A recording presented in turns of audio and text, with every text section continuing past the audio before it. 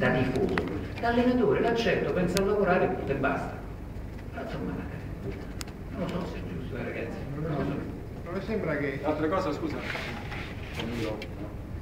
l'altra cosa che volevo chiedere è se mh, viene davvero che questa vittoria sofferta c'è stata oggi possa aiutare la squadra a sbloccarsi, cioè vedi davvero No, no, sereno, non è che basta, non è che basta una vittoria e ti sblocchi. Io dico, quando sono arrivato avevo trovato una squadra molto nervosa, molto con i nervi a fior di pelle, eh, che poi dopo si era tranquillizzata, avevamo fatto delle buone cose.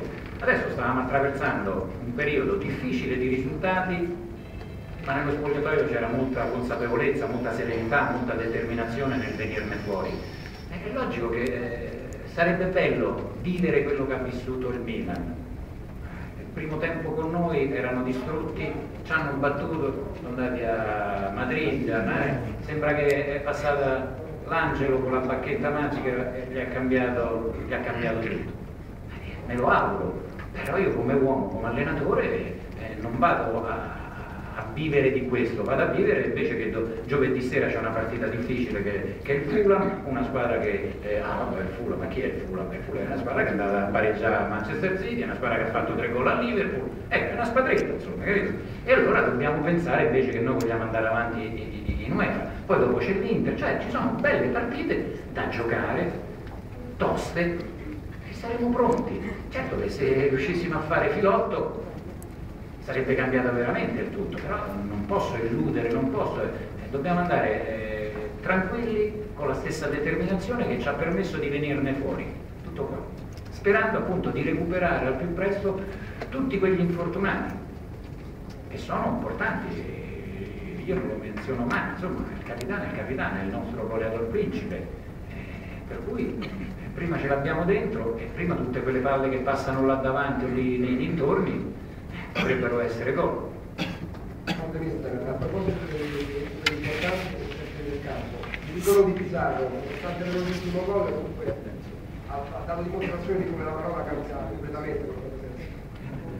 Logica, apposta io me lo metto dentro la bambagia, me lo bacio tutto, me lo coccolo. Pensate che eh, l'ho messo dentro proprio perché è bizzarro, perché in dieci giorni io non l'ho mai visto allenarsi. Ieri ha fatto un qualcosina, gli avevo detto non andare a battere neanche i calci d'angolo, dico hai visto mai mentre batte il calcio d'angolo gli fa male la schiena. Per cui lo so che la manovra, anch'io capisco un po' di calcio, eh, ne, ne mastico. Qualcosina. Eh, però lei sa me molto meglio di noi che il- la contestazione dei tifosi non è la sua equazione molto semplice, la Roma perde e quindi i tifosi contestano. Lei Eh sa molto meglio di noi che la contestazione è molto più ampia, Certo. viene da lontano, Certo. viene da una Roma che è nella sesta e proprio perché c'è l'autofinanziamento con tutto il rispetto dei cubetti, si prende i cubetti a parametro zero e si vende a Milano e il tifoso ha paura che anche quest'anno se malauguratamente non si riuscisse a entrare in Champions League magari già il prossimo anno si debba vendere un altro giocatore. Quindi la No, contestazione è no, molto ma, ma allora questa è un'altra cosa, cioè, non è l'equazione proprio Benissimo. a pezzo con l'Udinese non è No, no, no, no. Io, io mm, mi piace rispondere a tutto, io non, non mi, non mi giro dietro a, non mi nascondo dietro a un dito, dico papale papale.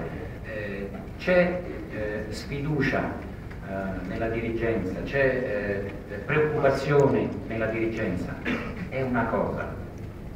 La squadra la domenica va in campo e la squadra non si contesta, si aiuta, perché se no io da, da fuori, non da allenatore, penso, ma allora c'è qualche altra cosa dietro. Allora c'è qualche altra cosa dietro. Allora vogliono che la squadra vada male. Eh, eh, eh, perché se no è così. Se no è così, scusatemi. Resteremo in Serie A, ragazzi. Ragazzi. Io, io sono rimasto veramente amareggiato. Sono rimasto veramente amareggiato. Noi non molleremo. Daniele, Grazie. scusa, posso fare un'ultima domanda? Sono qui per questo. Eh, visto che è stato recuperato, mi sembra abbastanza bene Menez e che Pucnic è tornato perlomeno sotto il profilo fisico e psicologico il giocatore che serve alla Roma. Il giorno che speriamo presto rientra Totti, Questi tre, secondo te, possono giocare insieme? Non lo so, vedremo. Io mi auguro di sì. Fatemeli avere prima tutti quanti in piena condizione e no a Tozzi e Bocconi che non li, posso, non, li, non li posso allenare e li metto dentro perché per avere tutti quelli là la squadra deve stare bella fisicamente, però possono giocare tutti. Io credo di sì che possono giocare con l'aiuto di tutti. Grazie. Grazie. Grazie.